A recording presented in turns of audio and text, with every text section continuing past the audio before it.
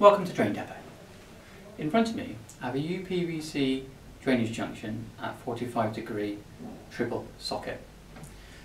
Available in two sizes, 110mm diameter, which is one I have here in front of me now, and 160mm diameter.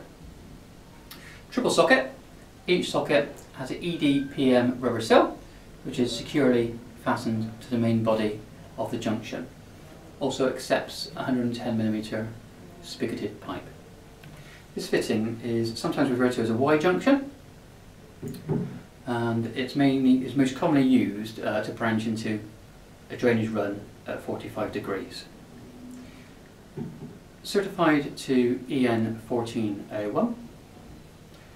Thank you very much for watching this short information video.